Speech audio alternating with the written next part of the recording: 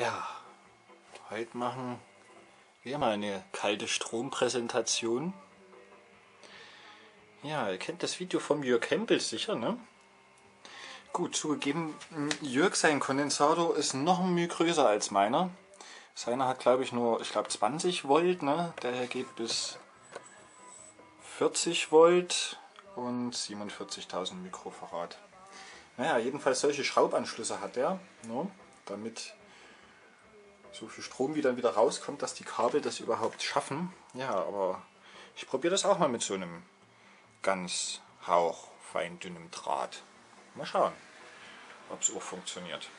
Ja, als Quelle ähm, habe ich keine, ich glaube beim Jörg, ich muss mir das Video echt nochmal ganz genau angucken jetzt. Das, das mache ich jetzt so rein aus meinem Gedächtnis. Ich habe das Video, ich glaube, das letzte Mal vor einem halben Jahr angeguckt von ihm. Ich glaube, bei ihm war es dann so, dass er irgendwie ähm, zwei tote Bleisäure-Akkus als Quelle hatte sozusagen. Und ähm, ich habe hier zwei, die sind zwar nicht ganz tot, ne, aber richtig voll sind sie auch nicht. Ja, mal gucken, nicht, dass wir einen Kurzschluss machen, das wollen wir natürlich nicht unbedingt, obwohl es kurzzeitig wahrscheinlich auch nichts ausmachen würde. Batterien halb bis viertel ist voll, in Reihe geschalten. Ja, dann mit dieser kleinen Ansteuerung dazu, ähm, Bettini-Motor mit Zündspule und Anzündspule Energiesparlampenröhre und ein kleiner Spark Gap dazu. Ja, so, wo ist jetzt der Draht? Der ist so fein, den sehe ich gar nicht. Komm her.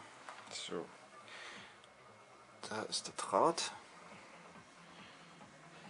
geht er hier an Ausgang, na, an die Diode ran. Okay, ähm, ja. Mal schauen, was passiert, wenn wir hier einschalten.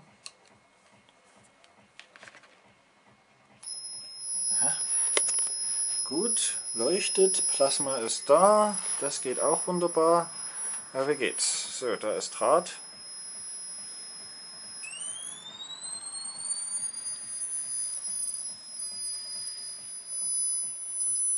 Draht wird absolut nicht warm.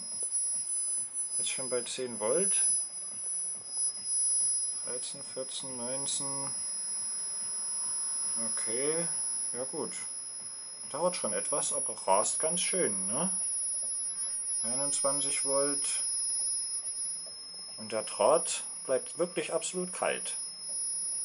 Nach meinem Empfinden. Ah, ist natürlich schwer, dann so richtig dran zu bleiben. Okay, bis 22, bis 22 kriege ich den hier. Also nicht ganz voll.